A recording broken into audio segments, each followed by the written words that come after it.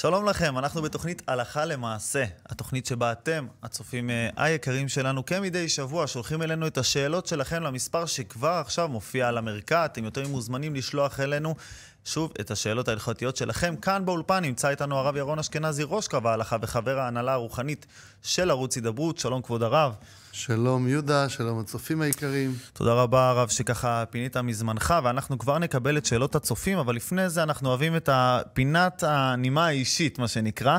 אה, שאלה אלולית משהו, אנחנו כל חודש אלול לאחר התפילה, לאחר תפילת שחרית, תוקים בשופר. מאז הגן כבר הסבירו לנו שזה בשביל לבלבל את השטן. אה, וככה אולי לעורר קצת. ואני שואל, מה, מה, מה זה באמת עושה? זאת אומרת, מעבר למה שסיפרו לנו, אני לא מרגיש שזה מבלבל את השטן באופן אישי, אני לא, כן, אני מעיד על עצמי, זה לא, זה לא כל כך מבלבל אותו, הוא ממשיך אה, דווקא ועושה את העבודה מעולה. השאלה שלי זה באמת מה זה בא לומר לנו ומה אנחנו אמורים לקחת מאותה תקיעת שופר. יהודה, אני מה זה אוהב את השאלות שלך.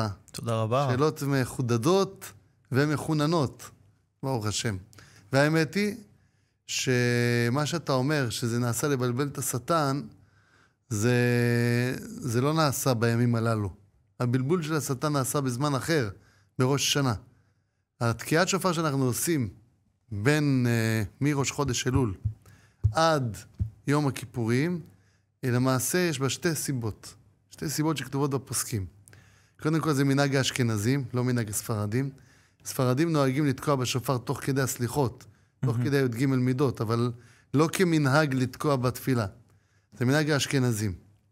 הסיבה של התקיעה שנוהגים באשכנזים, מכיוון שבראש חודש אלול עלה משה רבנו להר, להר סיני, ואז כשהוא עלה להר סיני, לקחת את הלוחות השניות למעשה, השמיעו כל שופר במחנה, העבירו כל שופר להגיד, תדעו שמשה רבנו עלה להר, כדי שלא יטעו עוד פעם אחרי עבודה זרה, זכר לאותה תקיעת שופר, אנחנו תוקעים בשופר לאורך כל חודש אלול. עכשיו, השופר, יש לו משמעות. שופר מלשון שיפור. שפרו מעשיכם. וכתוב, היתקע השופר בעיר, והעם לא יחרדו. כלומר, יש איזושהי סגולה לשופר, איזושהי סגולה לשופר, שהיא מרעידה את הלב. עכשיו, זה תלוי מאוד בהכנה של האדם. אתה יודע, יהודה, אדם שנגיד ישמע את החצוצרות של המלך, כפרי, הוא מעולם לא ידע שיש איזשהו טקס לפני שהמלך מגיע, לא שמע לא את החצוצרות ולא את החטף שק ולא זה, הוא שומע חטף שק, הוא חושב מילקשייק. הוא לא יודע מה זה. אז באמת לא יהיה לו שום רעד, שום דבר. אבל אם אדם יש לו קצת הבנה, משכל, הוא מבין שכאשר יש חצוצרות, זה אומר שהמלך עומד להגיע.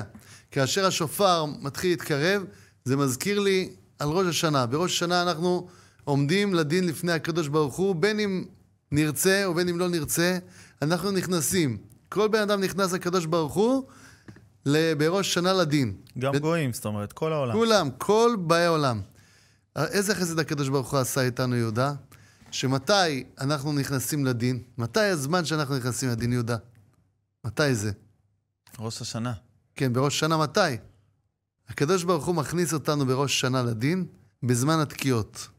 תראה איזה חסד הקדוש ברוך הוא עשה לנו. תאר לעצמך שהיינו נכנסים לדין בזמן שאנחנו בארוחת צהריים, עם הברמודה והגופייה. איך היינו נכנסים ככה לדין? אז יש בן אדם נכנסים לדין, נכנס לדין עם ברמודה. יש אחד נכנס עם טלית על הראש. בוודאי שמטבע הדברים הדין שלו ייראה אחרת. בכל אופן, התקיעת שופר היא באה לרמז, המלך בשדה, המלך נמצא פה. עכשיו, מי שעושה את ההכנה הזאת ואומר, תשמע, אני יודע, אני צריך לעורר בליבי את העניין הזה שהמלך בשדה, אז התקיעת שופר יש לה סגולה לעורר את ליבו. כי הוא יודע שאחרי זה יבוא הדין, ואז צריך להיות מוכן לדין. מי שלא עושה את ההכנה, הוא דומה לאותו כפרי ששומע את החצוצרות, שומע את החטף שק, שומע גם את הפיצוצים, שומע גם את החיילים, אבל כל דבר הוא מסביר בצורה אחרת, והעיקר, את, ה, את העיקר הוא לא זוכר. ואז מילא הוא לא מפחד. שנזכה להבין שהמלך בשדה, ואני חושב שאין ראוי מהתוכנית הזאת להבין את זה, שעם ישראל באמת רוצה להתקרב, והרבה מאוד שאלות שככה מגיעות על uh, חודש אלול, על הימים הקרבים ובאים, הימים הנוראים. אה, יישר כוח קודם כל הרב על ההסבר המפורט על זה, על אה, תקיעת שופר, ובעזרת השם ש, שנזכה. שאלות שכבר מגיעות אלינו, הרב. הנה, שואל פה מישהו באותו עניין. הרב, תודה רבה על התוכנית. איך אדע מה ההכנה הנכונה עבורי לקראת הימים הנוראים? זאת שאלה מצוינת. איך אפשר לדעת? איך בן אדם ידע מה ההכנה שהוא צריך להכין? גם אני מאמין שזה אינדיבידואלי קצת, זאת אומרת, כל אחד מהמקום שלו, אחד אה, יותר חזק, השני פחות, מה אני מסוגל, מה הוא מסוגל. בדיוק. אז לכן גם השאלה הזאת היא אמנם הכי קשה בשבילי, אבל היא הכי קלה בשבילך. למה? בשבילך אני מתכוון לשואל. למה? כי כל אדם עם עצמו יודע איפה הנקודות החלשות שלו. עכשיו, יש דברים שבן אדם יודע שזה מעל המדרגה שלו. הוא לא יכול להגיע לזה, זה לא עכשיו המצב שלו, הוא לא יכול להשתפר בזה. הוא יודע שבעתיד אולי הוא יטפל בזה, ובינתיים הוא יודע שהוא לא שם. אבל יש מקומות, איפה נקודת הבחירה של האדם? איפה הנקודת הבחירה שלי? איפה השלב שבו אני פעמים נכשל ופעמים מצליח? איפה הנקודה? כל אדם יודע איפה הנקודה שלו. כל אדם. מי שקצת חושב, ומי שלא יודע, שיחשוב קצת עם עצמו. טיפה. איפה הנקודה של הבחירה שלי? איפה אני נופל? איפה אני מרגיש שיש לי נפילות? כל אדם יוכל להגיד לך במושכל ראשון, במחשבה הראשונה, הוא ידע את התשובה. עכשיו אני חייב להגיד פה משהו. אתה יודע, יש הרבה אנשים שאומרים, יש אחד אומר, אני ברוך השם, המצפון שלי נקי. אומרים לו, איך אתה בן 80, איך המצפון שלך נקי? הוא אומר, אף פעם לא השתמשתי בו. מצפון נקי. מה זה המצפון? מה הפירוש? מה זה מצפון ומה זה, מה זה חשיבה אחרת? המצפון של האדם הוא כמו מצפן. כלומר, החשיבה הראשונה שאדם חושב באותו רגע, כשהוא מתחיל דבר, זה נקרא מצפון. עכשיו, כאשר אתה שואל את עצמך, בשנייה הראשונה, מה, איפה הנקודה של הבחירה שלי? במה, מה אני צריך להשתפר? המושכל הראשון זה התשובה. אחרי זה מתחילים חשבונות. לא, זה מדי מסובך בשבילי, זה כך וכך, זה זה. אדוני, מה שחשבת ברגע הראשון, שם אתה נמצא. האסוציאציה הראשונית שככה... האסוציאציה הראשונית. עולה, והרב, גם לגבי, ה, אני אומר, ה, ה, זאת אומרת, יש את לקחת את התרופה ויש את המינון שלה. מה, מה לגבי המינון? זאת אומרת, כמה אני יכול להיות קיצוני בהחלטה? כמה אני צריך לקחת אותה רחוק, מה שנקרא? גם להיות... בטווח וגם בקבלה עצמה. צריך לחשוב טוב טוב, להיות יציב בהחלטה. אני לא מדבר על מינונים קלים ולא על מינונים כבדים. זה תלוי מאוד באדם. הוא צריך להיות יציב על מה שהוא עושה. יש אדם שהוא קופץ 20 מדרגות, וכבר בעשרת ימי תשובה הוא שכח מה שהוא קיבל על עצמו. ויש אדם שהוא מקבל על עצמו משהו יציב, תוספת של דבר. אם הוא לא מתפלל שלוש תפילות במניין, הוא מחליט, עכשיו אני מתפלל שלוש תפילות במניין, יהיה מה שיהיה, שזה קבלה גדולה, אין מה לדבר. זו קבלה גם קשה, להתפלל שלוש תפילות במניין. אם הוא לא היה מתפלל שלוש תפילות, מתפלל שלוש תפילות. אם היא לא הייתה זהירה בצניעות, תוסיף משהו בצניעות. עכשיו, צניעות זה דבר כולל. אפשר להיות אה, לא מאה אחוז, אפשר להיות שישים אחוז, שישים וחמש, שבעים, שמונים, כל אחת לפי עניינה. יש הרבה מקומות שבהם צריך ליצור מצב של צניעות. רק צריך להבין איפה אני נמצאת ומה אני יכולה להוסיף בצניעות. ולעמוד בזה. לעמוד בזה. יישר כוח הרב אה, על זה. עוד בעניין הרב אה, חודש אלול, שואל פה מישהו, מהי כוחה של הצדקה והאם יכולה להועיל בימים של דין? זה ברור שצדקה היא דבר גדול מאוד. כל זכות, אני חושב, קודם כל, כבר בחודש הזה יכולה להועיל, היא בונוס. ברור. אה, הרב חידה כותב, רבנו יוסף חיים דוד אזולאי, כותב שחכמי הספרדים באלול היו פחות לומדים בעיון. לומדים יותר דברים של גרסה וגורסים בתיקוני הזוהר ואומרים תהילים. כל דבר של זכויות שאפשר לאגור באלול זה הכי טוב, אבל העניין של הצדקה, אנחנו רואים בכל סיטואציה, התורה כאן משבחת את הנושא של הצדקה. הצדקה יש לה כוח להציל בן אדם ממוות. היא פדיון נפש. אדם נותן כסף, עפר, מה זה כסף? זה עפר. זה סוג של כופר. אדם נותן כסף ופודה בכופר הזה את הנפש שלו. זה דבר גדול מאוד. למה? אומר הרב בן איש חי, איך דבר גשמי יכול לפדות דבר רוחני. איך? כי הכסף, מה הוא נקרא? דמים. אדם מתאמץ, מאמץ את עצמו בשביל להשיג את הממון. אז יש בו איזו משמעות שאני נותן את הדמים תמורת הדם. ואז מילא זה פודה, פודה את הנפש של הבן אדם. יש סגולות נפלאות בהקשר לנושא של צדקה, דרך אגב, נושא של פדיון נפש. לעשות, אה, לתת פדיון נפש לתלמיד חכם שיעשה פדיון נפש בערב ראש השנה, יש פדיון שהוא על פי הסוד, שהתלמיד חכם עושה גם בערב ראש השנה וגם בערב כיפור, ובערב סוכות מחלק את הכסף לעניים. נראה לי כמדומני גם שפה בארגון עושים את הדבר הזה, יש להם את הפדיון נפש הזה, וזה דבר נפלא, כי על זה כותב רבנו חיים ויטל, שמובטח לו שישלים שנתו. וואו. מובטח לו. יש לו הבטחה שלא יקרה לו שום נזק בשנה הזאת. הנה, אז גם uh, סגולה קיבלנו וגם uh, את חשיבות uh, הצדקה. אגב, הרב, אני רוצה עכשיו, אני מבין שחודש אלול קרב, ולצורך העניין, uh, הרב דיבר על החשיבות של הצדקה. א' כל, כמה צדקה, ב' כל, לאן? זאת אומרת, כל כך הרבה ארגונים, כל כך הרבה מקומות, לאן הכי מהודר, לאן הכי חשוב? אני מבחינתי רוצה להשקיע את המניות במקום הכי רווחי. אתה צודק. קודם כל, אה, השאלה הראשונה ששאלת, מה שאלת? היא הכמות. הכמות. כמה צדקה? כל אדם לפי יכולתו. אי אפשר להגיד לבן אדם, תיתן מה שאתה לא יכול. אם אדם נכנס לחובות, בוודאי שלא ייתן. כמובן. צריך להתאמץ על הצדקה מה שיכול במסגרת היכולת. למי אני אתן? אני אעשה חשבון, אני עושה חשבון, בדרך כלל, באיזה ארגון אני הכי הרבה מאמין. איזה ארגון אני רואה אותו הכי הרבה עם פעילות בכל התחומים, כל העניינים.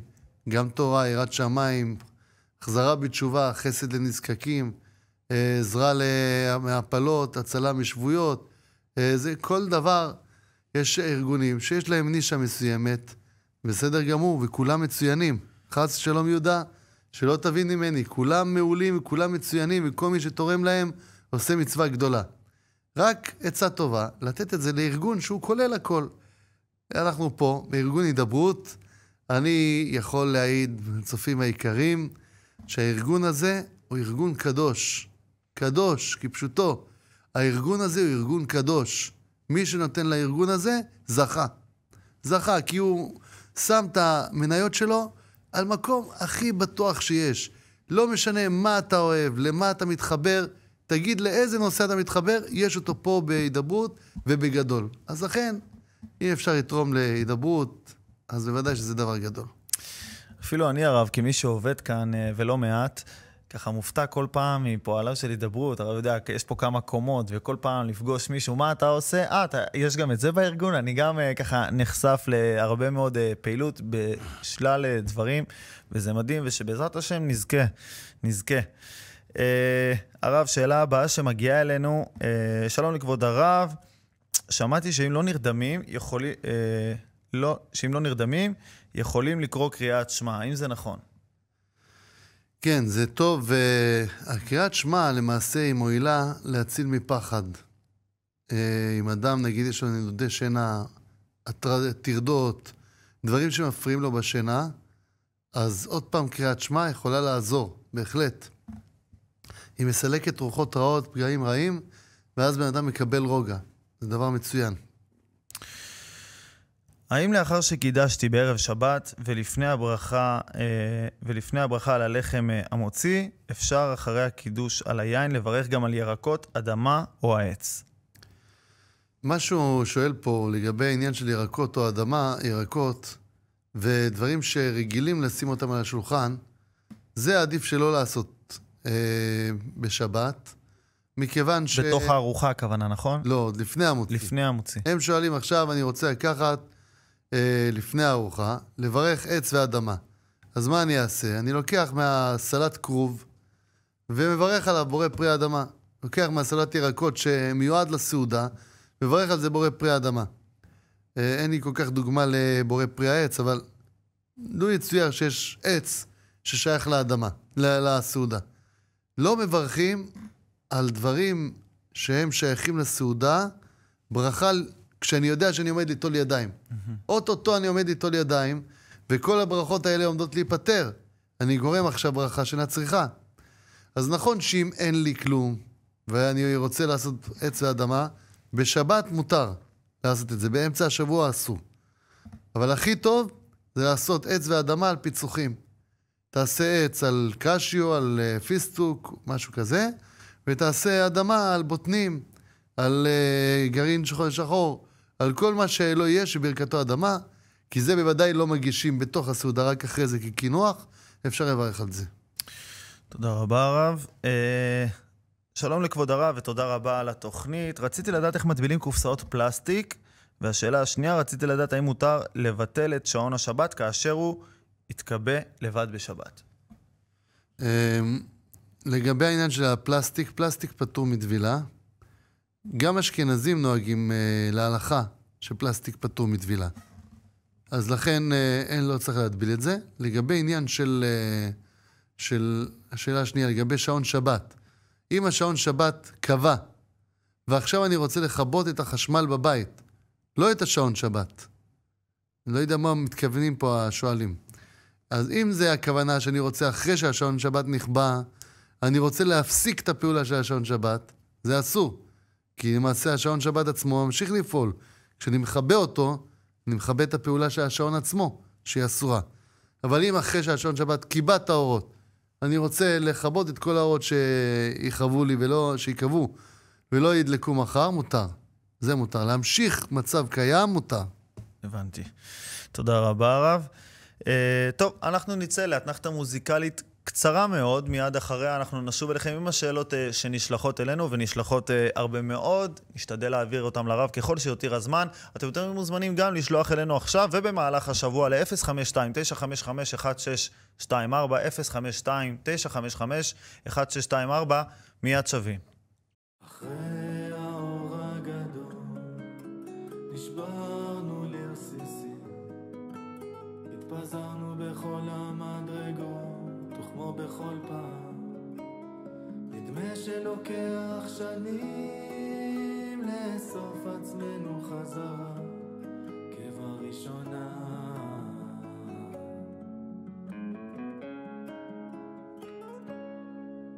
נסתרות התשובות לכל מה שמעיק עלינו וחדים הקולות כחיצים שלוחים לאמור כל זה היה בכלל שווה לנו. אין ביכולתנו להבין את אשר אין ביכולתנו, אך יש בכוחנו לתקן את אשר יש בכוחנו. מעולם לא נדרש מאיתנו יותר מהשתדלותנו לעשות את הדבר הנכון. אין ביכולתנו להבין את אשר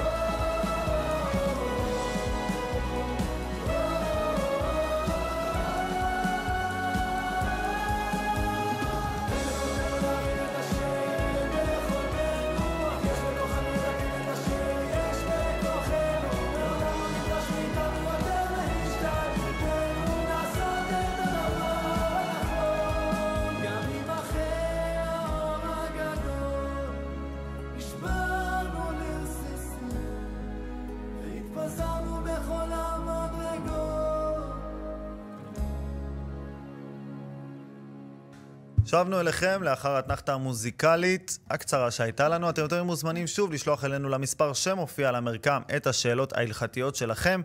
הרב, אני ככה, מגיעה אלינו שאלה קצת ארוכה, אני אשאל אותה אה, בקיצור. אה, מישהי שואלת על בעלה, שהוא כבד ראייה, והוא מתפלל עם הפייטן, עם משה חבושה. ומשה חבושה, בזמן הסליחות שהוא אומר, הוא אומר עמוני, הוא לא אומר את שם השם אה, עצמו. כי הוא לא עושה את התפילה באמת, כאילו. הוא לא עושה את התפילה באמת, היא כנראה שומעת, הוא- היא משמיעה לו הקלטות שלו, והוא אומר עמוני, הוא לא אומר את שם השם אה, המפורש, ובעלה, גם הוא אומר אה, עמוני, השאלה זה, מה צריך לעשות? אז כן, באמת זה, קודם כל, אני מתפעל, מה זה עם ישראל. תראה מה זה, מה אכפת להם. הוא, קשה לו לראות, קשה לו להסתכל, קשה לו לה- להתפלל, ובכל אופן הוא משמיע הקלטות כדי שהוא יוכל להתפלל. אה, זה תפילה כזאת של בן אדם, עולה לשמיים, VIP. VIP ממש, לא צחוק. זה לא מה שככה אנחנו מתפעלים אצלנו מהשרוול. שרב. אבל צריך להקפיד שיגיד שם השם. שלא יגיד עמוני. שתגיד לבעלה כל פעם שהוא אומר עמוני, תגיד שם השם ממש. תשב לידו ותגיד לו את, ה, את השם השם ממש. כי בלי זה זה חבל, זה... זה בלי, זה לא, זה לא ברכה. בעזרת השם, ויישר כוח שככה שיתפו אותנו ושיזכו, בעזרת השם. אה, האם, אה, האם ילד שאביו מתעלל בו, ועד... התעלל בו בעבר ועדיין מתעלל בו, מחויב בכיבוד אב? זאת שאלה מאוד כואבת. ממש ממש כואב לשמוע את הדבר הזה. הילד בוודאי שמותר לו לגונן על עצמו. זאת לא שאלה. אם יש אבא שמתעלל, והילד שואל האם מותר לי ללכת להתלונן במשטרה כדי להציל את עצמי ולהציל את האחים שלי, התשובה היא מותר. אם האבא מתעלל, אין מה לדבר. צריך ל... לעצור אותו, שלא יהרוס את החיים של הילדים שלו. אבל לעניין של כבוד, איך לעשות את זה? כלומר, להרביץ לאבא אסור. מותר לי להתגונן, אסור לי להרביץ. מותר לי לברוח מהבית, מותר לי לא להיות לידו. אמ, יש פעמים שגם אנחנו מורים על ניתוק מוחלט, שהילד לא יתקרב לבית, אפילו שאבא מצטער מזה, אין בזה שום בעיה. למה? כי בזה מתקיים כיבוד הורים. שאני לא לידו, הוא לא מרביץ לי, אני לא מתגונן, אז מילא אם אני לא מתגונן, אני לא, לא מחזיר לו. כן. אז זה מתכבד, מתקיים בזה כיבוד הורים. אז תיאורטית, צריך לכבד. השאלה מה זה נקרא כיבוד. אם יש אבא שהוא עבריין והוא, והוא מתעלל והוא הכל, אז יכול להיות שהוא יגיד, אתה צריך לכבד אותי. אדוני, הכבוד שלך זה שהוא יהיה רחוק ממך. שאתה תהיה בבית הסוהר והוא יושב רגוע, בזה מתקיים הכבוד שלך. גם זה יכול להיות כבוד. רק צריך לעשות את זה בצורה אה, שמדויקת עם תלמיד חכם, שידע לייעץ לו מה מותר ומה אסור. יישר כוח הרב. לגבי מנגל בצימר, שואל אותנו מישהו, ניתן להכשירו על ידי הדלקתו ללא אה, בשר, כמה דקות, והאש מלבנת את הברזל, כך הוא שואל, והאם אז זה יהיה כשר? קודם כל צריך לנקות את הרשת. לנקות אותה כמו שצריך. לא להשאיר אותה עם כל השומנים וכל הדברים. מה יעזור שהוא הדליק אש אם השומן עדיין אה, קיים על הרשת? צריך לנקות את זה כמו שצריך, עם חומרים, שהרשת תהיה נקייה לחלוטין. ואחרי זה, הוא יכול למלות. אני מדבר בצימר שהוא לא יודע אם עשו שם כשר או טרף, כן? אם מדובר על צימר שהוא יודע בברור שהכל כשר, אז זה מועיל אפילו ליבון קל, אין שום בעיה. אבל אם הוא אה, לא יודע מה שמו שם, אולי באו גויים במקום הזה, ובכלל עשו נבלות או טרפות על, על המנגל, כאן צריך למלות את כל המנגל בגחלים, כי צריך גם ליבון ל... גוף לתבנית. המנגל עצמו? לתבנית, כן. למלות את כולו גחלים, ואת הרשת גם כן, להכניס בתוך הגחלים. להכניס אותה בתוך הגחלים, ואז אה, כשמבעירים את כל הגחלים והכל בוער, והכל מתלבן, אז זה מכשיר את הכל. תודה רבה הרב. אה, שלום הרב, יש לי שאלה, מי בוחר את הסנדק, הגבר או האישה, והאם האבא של הילד יכול להיות הסנדק? מי בוחר את הסנדק? הרב הולך לפתור פה הרבה בעיות, אז שהרב ככה, כן. יש מנהגים. אין בזה כללים ברורים, זה קודם כל. אין בזה כללים ברורים, אבל יש מנהגים. המנהג הוא שהאבא של אה, איש. הוא הסבא מצד האבא, הוא הסנדק הראשון, הסבא מצד האימא הוא הסנדק השני, ואחרי זה הם משוחררים. אפשר שהאבא יהיה, אפשר שייתן את זה למישהו אחר. כאשר יש ויכוח בין הבעל לבין האישה בילד השלישי, בילד השלישי, כאשר יש ויכוח בין הבעל לבין האישה, אה, כמו מי הולכים, אחרי מי ההכרעה, זאת שאלה לא של הלכה, אלא שאלה של שלום בית. כי אם הם הגיעו למצב שהם לא מגיעים להסכמה, הייתי שולח אותם קודם כל ליועץ נישואין, שילמדו מה ההיררכיה בבית, איך זה לא שהבעל צריך להיות המנהיג והיא צריכה להיות השפחה, או שהיא צריכה להחליט לו והוא צריך להתקפל, צריך לדעת איך לתמרן בין הדברים. ברור שהאישה צריכה להיות חכמה, לדעת לתת לה, לאיש בסופו של דבר את המילה האחרונה, כי זה ה-DNA של הבית. אם אישה היא חכמה, היא יודעת שזה מה שישמור לה על הבית, זה מה שבסופו של דבר שווה לה להפסיד בשביל להרוויח את הבית. אבל היא לא מחויבת בזה. איך אומרים? היא לא חייבת לקפל את עצמה, תלוי מה. לכן, אם הם הגיעו למצב כזה שאין תנאי הסכמה, הייתי מציע לטפל בשורש לפני השאלה הזאת. הרב, הזכות בלהיות סנדק, מה היא? הסנדק יש לו זכות גדולה מאוד. הוא, הסנדק הוא נדמה כמו המזבח. הרגליים של הסנדק הם כמו המזבח. התינוק עצמו הוא כמו הקורבן. והמילה, המילה למעשה זה כמו זריקת הדם של הקורבן, וזה נדמה לקטורת. וואו. זה דומה לקטורת. כאשר אדם יושב סנדק, אז uh, זה אפילו סגולה לעשירות. אומרים כי הקטורת היה בה סגולה לעשירות. מי שהיה הכהן, שהיה זוכה להקטיר קטורת, היה מתעשר. ומכיוון שהמילה שה, היא כמו קטורת, יש בה סגולה לעשירות. תשאל, איך יכול להיות שיש הרבה אנשים אה, סנדקים ולא כולם עשירים? איך זה יכול להיות? אז פעם ראיתי בשם האדמו"ר מגור, וראיתי כמדומני בעוד כמה מקומות, שאומר שהסגולה הזאת נאמרה על מי שעושה את היושב סנדק וגם עושה את הברכות. שני הדברים. היה רב מאוד גדול באנטוורפן, קראו לו רב חיים קרייזווירט. הוא תלמיד חכם, היה תלמיד חכם עצום, שכל התורה הייתה מונחת בכף ידו. הוא היה רב ראשי באנטוורפן, הוא היה מתלמידי הסבא מסלבודקה. הוא למד עדיין בסלבודקה של, של סלבודקה, שהייתה ב- באירופה. כן. והיה מגיע פה, ל... היה לו בית יתומים, שהוא היה מממן את הבית יתומים, והיה לו חשבון בנק פה, בישראל. אבא שלי היה מנהל בנק. הוא היה מגיע אליו אחת לכמה זמן. הוא אמר את זה לאבא שלי, שהוא שאל את האדמו"ר מגור, את הבית ישראל. אמר לו, אני סנדק בהרבה מקומות באנטוורפן, ולא זוכה לעשירות. האדמו"ר מגור, הבית ישראל, אמר לו, תעשה גם את הברכות. אמר לו, מאז שהתחלתי לעשות גם ברכות, באמת ראיתי ברכה. או-אה. התעשרתי. איפה הרב היה עד היום? למה הרב לא... כן.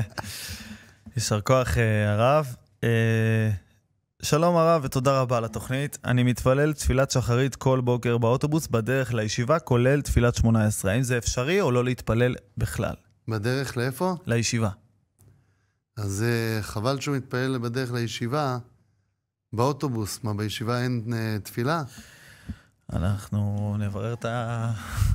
טוב, אז... אולי צריך לסלק אותו בכלל מהישיבה, כזה בחור. לא, חס ושלום, חס ושלום לסלק. אנחנו לא בדור של כן, לסלק כן, בגלל. תפילה. בכל אופן, צריך להתאמץ, להתפלל ב, בישיבה. אם הוא לא יספיק להתפלל ב, בישיבה, אז שיתפלל בישיבה של... באוטובוס. אבל זה לא לכתחילה, כי כתוב שאם אדם מתפלל בישיבה, ואחרי זה הוא מגיע למקום שיכול לעמוד, הוא צריך לחזור ולהתפלל בעמידה. וואו. כן, זה לא פוטר אותו מתפילה. אז לכן, הכי טוב, גם אם לא התפללת נגיד ב, ב, במניין, אתה נוסע לישיבה, את ה-18 עצמו אולי תעשה בעמידה באיזה פינה בישיבה, לפני שאתה נכנס ללימוד, כמה דקות, זה עדיף. יישר כוח הרב. אה, שאלה מעניינת שמגיעה אלינו, אה, שלום לכבוד הרב, היא מציינת את השם ואת הגיל שלה. אה, אם אמרתי לבחור לפני כמה שנים שאם אני לא אתחתן עד גיל 30, אז אני והוא נתחתן ולחצנו יד. האם זה נקרא נדר וצריך לעשות התרת נדרים? היא מציינת שהיא היום בת 31. אז זו באמת שאלה קשה, כי זה כמו תקיעת כף. כמו תקיעת כף. אבל במקרה כזה, צריך, אה, צריך לעשות אה, עם הבחור עצמו, אה, לעשות איזשהו סוג של סיכום בינינו. תמחל לי ואני מחלתי לך, ושלום הישראל, ונתפרדה החבילה. היא כן צריכה להשיג את הבחור הזה, גם אם היא לא רוצה לדבר איתו באופן ישיר, לפעמים הן לא רוצות לדבר, היא לא רוצה, הוא לא רוצה, אין קשר. בסדר, אין קשר, רק לשלוח הודעה דרך גוף שלישי, דרך אדם שלישי, שיגיד לו, בוא, דיברתם משהו, לחצתם יד, תגיד שזה מחול. הוא יגיד מחול, היא תגיד מחול, שלום הישראל, נגמר. והיה ולא, זה, זה נקרא... הגמרא מספרת שזה חמור, הגמרא אומרת שזה חמור מאוד. היה שם אה, סיפור עם אותו האיש שהבטיח לאותה נערה. הבור הזה עד, החולדה הזאת עדה. כן. לא נספר את הסיפור כדי לא להכניס אנשים ל, לכל מיני סרטים, אבל בעיקרון זה, זה בעיה. צריך ליצור את המחילה. הרב, הנקודה הזאת, הרב, של הרבה, הרבה פעמים אנשים נשבעים, נודרים, גם מתוך סלנג, וגם, הנה, כמו שקרה פה, אני מאמין שהם לא ממש התכוונו לזה אז, אולי בשעת מעשה, רק אחרי זה שהם קצת חשבו על הסיטואציה, שואלת אם זה נדר. ה- ה- יש, יש בזה עניין של דברים שבלב, זאת אומרת, אם לא התכוונתי ברצינות, תבוא ותגיד לו, למה אמרת לו, אני נשבע לך, או משהו כזה, יגיד לך, לא התכוונתי בכלל, זה משנה? לא, לא משנה. אמר- דברים שבלב אינם דברים. מהמם. אדם שאומר משהו בחוץ, ואחרי זה אומר, חשבתי בלב אחרת, זה כלום. מה שאמרת בפה ומה שאחרים הבינו, זה העיקר. אם אתה, דברים שבלב, זה, זה הפרת נדר, חד משמעית. עכשיו, פה במקרה הזה, יכול להיות שעדיין יש איזה צד לומר, שברגע שהם אמרו, אם נגיע לגיל 30 ולא נתחתן, אם נגיע, אז אני אתחתן איתך, יכול להיות שבמקרה כזה זה לא התחייבות גמורה. יכול להיות שאין פה כי... מה זה אם אני אגיע? כלומר, אני מקווה שאני אתחתן ואני אמצא מישהו לפני גיל 30. כלומר, אתה סוג ב' בשבילי. אם אני אגיע לגיל 30, אז אני אתחתן איתך, כי אז אני אתפשר על, על סוג ב'. יכול להיות שזה לא התחייבות גמורה. תודה רבה, הרב. שלום לכבוד הרב, יישר כוח על התוכנית. שמי אליאב ואני בן עשר. אשמח לדעת האם מותר לשחק כדורגל בשבת, בתודה מראש. אליה המתוק, אתה מרגש אותי, ממש מרגש, ומותר לך, מותר לילד לפני גיל בר מצווה, לכולי עלמא, גם ספרדים, גם אשכנזים, לשחק בכדור עם חברים, והכל בסדר. תודה רבה, הרב, בשמי ובשם אה, אליאב החמוד.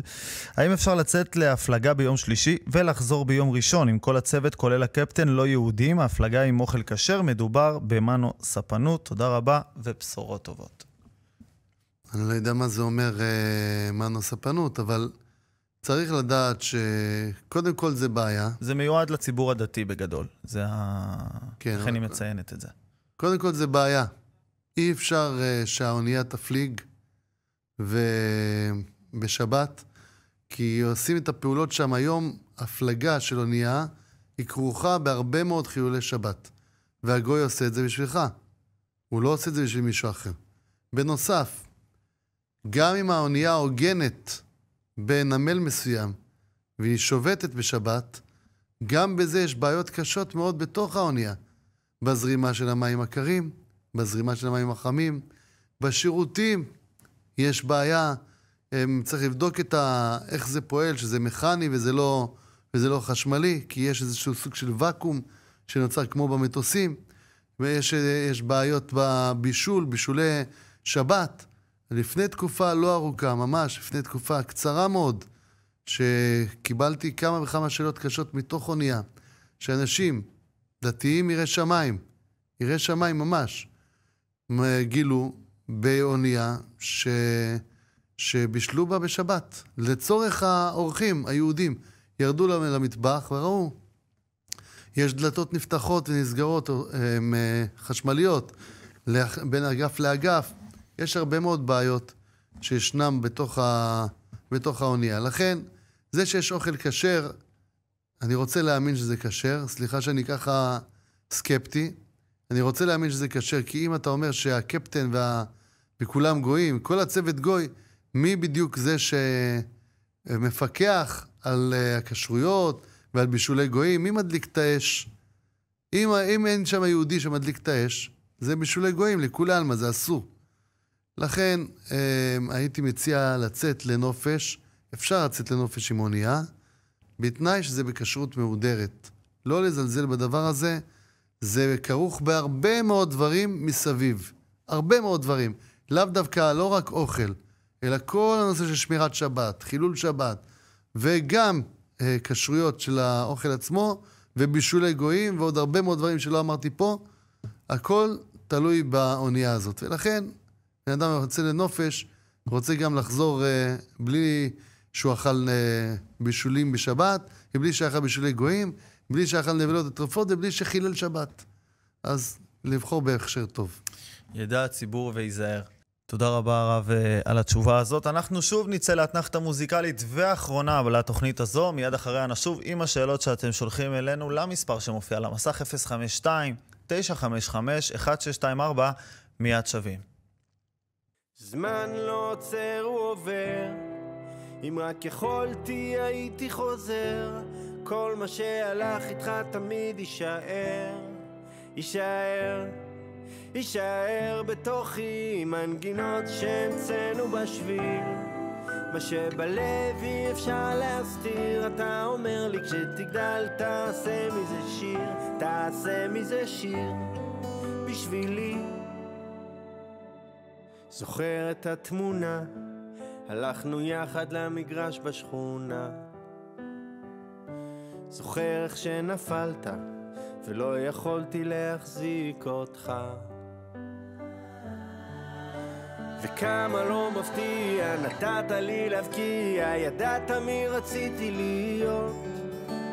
כל מה שיש בי, אתה יצרת גם כל האכזבות. זמן לא עוצר, הוא עובר, אם רק יכולתי הייתי חוזר. כל מה שהלך איתך תמיד יישאר, יישאר. יישאר בתוכי מנגינות שהמצאנו בשביל. מה שבלב אי אפשר להסתיר אתה אומר לי כשתגדל תעשה מזה שיר תעשה מזה שיר. בשבילי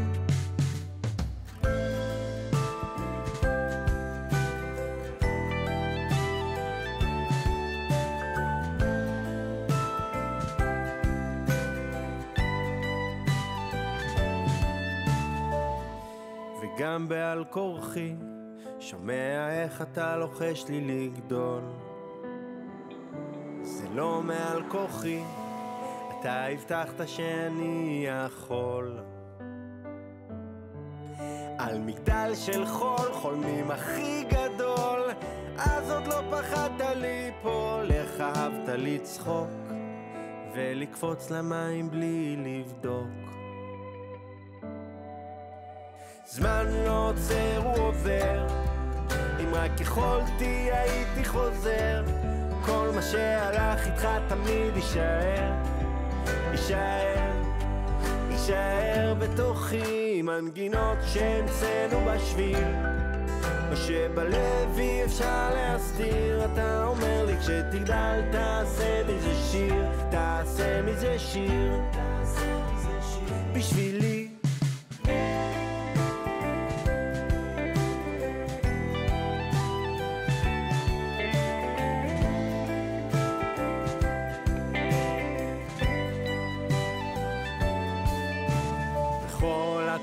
שבי והחולשות שלי, אני רואה אותך. כעסתי ומאסתי ולא הספקתי לבקש סליחה. זמן לא עוצר, הוא עובר, אם רק יכולתי הייתי חוזר. כל מה שהלך איתך תמיד יישאר, יישאר, יישאר בתוכי מנגינות שהמצאנו בשביל.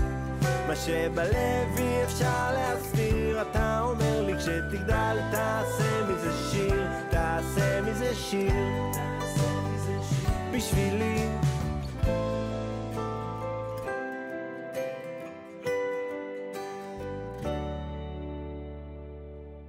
שבנו אליכם לאחר אתנחתא מוזיקלית אחרונה לתוכנית הזו. הנה המספר כבר מופיע על המסך ואתם מוזמנים לשלוח אלינו למספר 052-955-1624 וכאמור, אנחנו נעביר אותם לרב שאיתנו אה, כמדי תוכנית, אה, ככל שיותיר הזמן.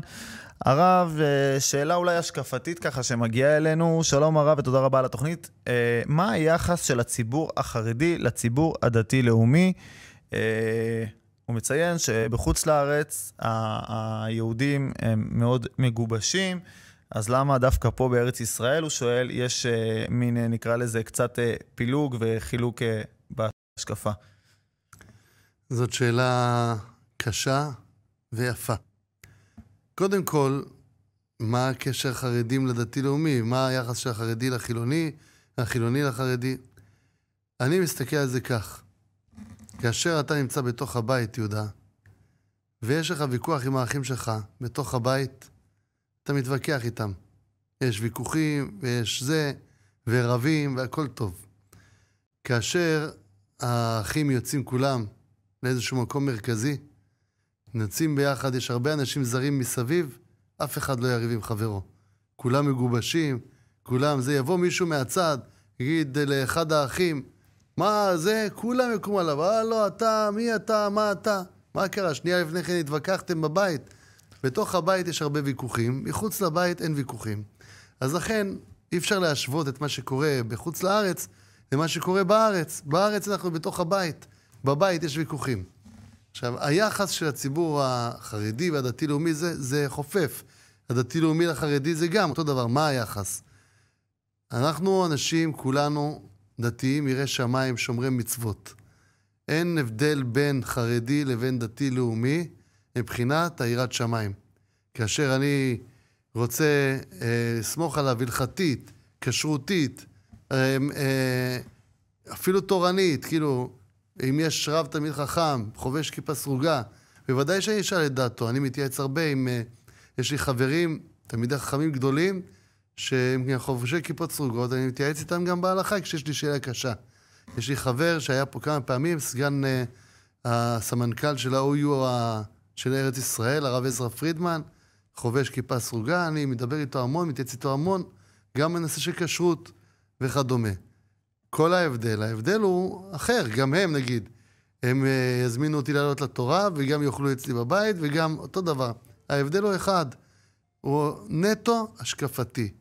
איך היחס למדינה, איך היחס לצבא.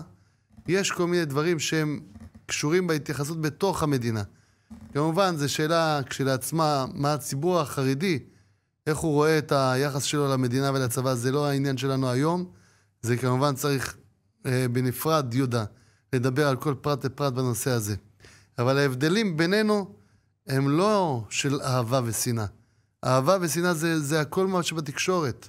נטו תקשורת. אין בזה שום אמת. אני יכול, אה, אני יש לי קשר עם חילונים שאני אוהב אותם אהבת נפש והם אוהבים אותי אהבת נפש. חילונים גמורים. יש לי קרובי משפחה מדרגה ראשונה, מדרגה שנייה יותר נכון, שהם חילונים גמורים. ואני אוהב אותם אהבת נפש, והם אוהבים אותי אהבת נפש. הקשר בינינו חזק מאוד. אה, זה לא אומר כלום. כל מה שרואים זה הכל תקשורת. הכל תקשורת. השנאה היא, היא בתקשורת. הפער הוא קיים, יש פער. פער השקפתי. החילוני יראה את זה בצורה כזאת, הדתי יראה את זה בצורה כזאת, החרדי יראה את זה בצורה אחרת, אבל כולנו משפחה אחת. גם מחזק הרב וגם ככה מסדר את, ה... מסדר את הראש, התשובה של הרב. אה, וככה, זה, אני חושב ש, ש, שלדעת שיש גם חילוקי דעות, וזה בסדר, זה, זה, זה, זה מסדר הרבה. זאת אומרת, אה, יכול להיות שהשני לא חושב אה, כמוני, וזה בסדר לגמרי, וזה שהוא שונה לא סיבה, א', שאני לא יותר טוב ממנו, ב', כל לא סיבה חס ושלום לשנוא. יהודה, אני אמרתי כמה פעמים. כן. לאנשים, חברים שלי, חילונים, ועשינו את זה גם כן.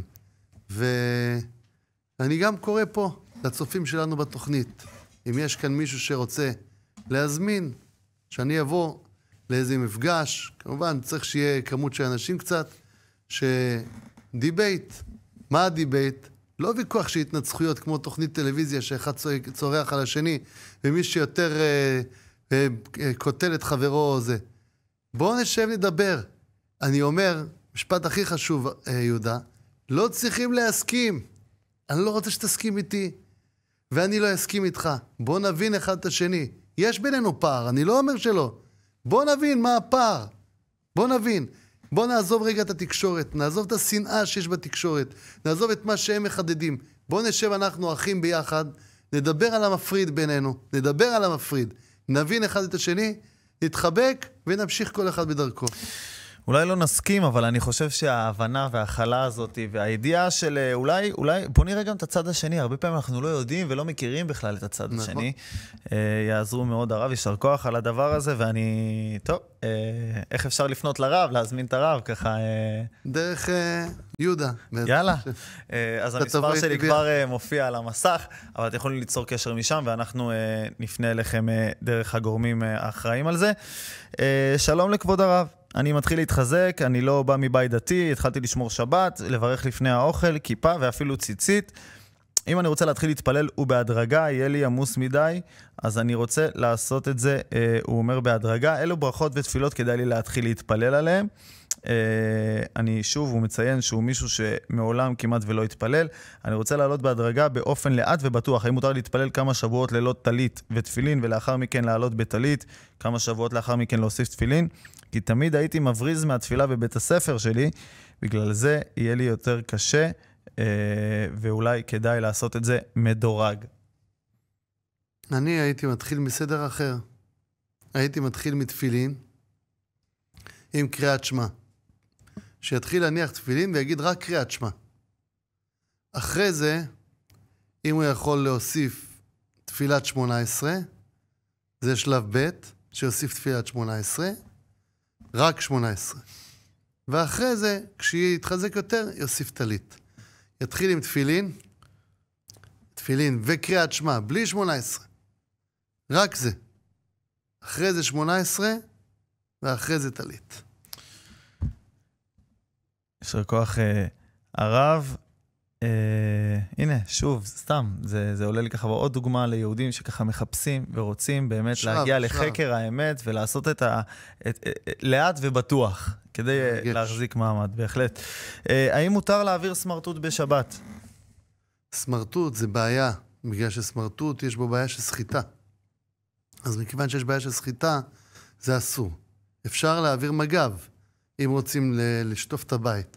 רוצים להעביר מים, ולהעביר את המים עם המג"ב, זה אין בעיה, אבל סמרטוט לא. יש גם מגבים, אגב, שהם הם לא סמרטוט, אבל יש בהם כאילו חומר כזה, המגב, איפה שהוא נוגע ברצפה, התחתית שלו היא קצת סופגת, זאת אומרת, היא כמין כרית. כזו. אז הכרית הזאת היא בעייתית. רק עם המג"ב בלבד, בלי הכרית. אוקיי. אה, שואל פה מישהו, האם מותר לשחק מונופול בשבת? אה, לילדים מותר, אין בעיה. מותר לילד לשחק מונופול, כולם יודעים שזה כסף לא אמיתי, ומותר. אז למבוגרים הבעיה. מבוגרים יש בעיה מצד המשחק. אשכנזים מותר להם, ספרדים יותר בעיה מצד המשחק. כי? כי אה, לספרדים יש יותר... המרן אומר שמשחק בשבת הוא מוקצה. כל המשחקים בשבת הם מוקצה, לפי מרן השולחן ערוך. אז לכן אה, לספרדים יש יותר בעיה, אם כי במונופול יש צד לומר שיהיה מותר, גם למבוגרים. יש צד לומר כזה, אבל לילדים בוודאי שמותר. תודה רבה, הרב. Uh, כותב לנו מישהו, התבקשתי על ידי צוות עובדים ערבים המוכרים שוער בד"ץ להדליק את האש uh, בעמוד, uh, בעמוד אחד, כשבעמוד השני יש כבר אש דלוקה ולא ידוע לי על ידי מי. האם מותר לי להעביר אש לעמוד החדש מהעמוד שכבר בוער? אם יש משגיח במקום, וזה אומר שהמשגיח פיקח על זה שהדליקו את האש בצורה טובה בעמוד הראשון, הוא לא צריך לחשוש שאולי גוי בא והדליק. יש פה משגיח. המשגיח זה על סמכותו. אבל אם הוא יודע שאין פה משגיח, המשגיח לא מתפקד. היום יש הרבה מקומות, הרבה גופים שקוראים לעצמם בד"ץ, והם אפילו לא רבנות. לצערנו. כל אה, גוף פרטי קורא לעצמו בד"ץ, לא עולה כסף. זה כמו לגדל זקן. בן אדם מגדל זקן, זה לא עושה אותו רב. אותו דבר גם בד"ץ, קורא לעצמו בד"ץ, אבל השאלה מה הפיקוח. אם אתה בתור עובד יודע שהמשגיח לא מופיע במקום, הוא לא נמצא פה, כולם גויים ואין פה משגיח, אז כן, אז תדליק את האש בצורה אחרת, לא בצורה הזאת. תודה רבה הרב, ותודה רבה על uh, עוד תוכנית שככה הסתיימה לה. לא הכל הספקנו uh, ככה לשאול, בעזרת השם, בתוכניות הבאות. Uh, גם ראש חודש אלול מביא איתו הרבה מאוד שאלות הלכתיות, ואנשים שרוצים באמת, כמו שאמרנו, להגיע לחקר האמת. אז אנחנו באמת מפה משתדלים, ככל שמותיר לנו הזמן, להעביר את השאלות שלכם. אתם שוב מוזמנים לשלוח אלינו גם במשך השבוע למספר שמופיע על המסך, 052 955 162 1624, אנחנו מפה נעביר את זה אני רוצה לרב. לתקן נקודה אחת, כן. יהודה, בנושא הזה של השוערמה, מכיוון שהוא לוקח אש מפה לפה, אין בזה בעיה של uh, הדלקה של גוי. הוא בכל מקרה יכול להעביר מאש לאש, אין בעיה. תודה רבה, הרב. אה, אז אתם אה, מוזמנים לשלוח אלינו את השאלות אה, שלכם, ואנחנו מפה ניתן לכם את התשובה, כמו שאתם רואים, הכי מדויקת שיכולה להיות. תודה רבה לכם, הצופים היקרים, תודה רבה לרב. תודה רבה, יהודה. תודה רבה למשה טבקולי כאן, מעבר לזכוכית, שעושה עבודתו נאמנה, כמדי תוכנית, אוהבים ומעריכים. אנחנו נשתמע בעזרת השם בשבוע הבא. תודה.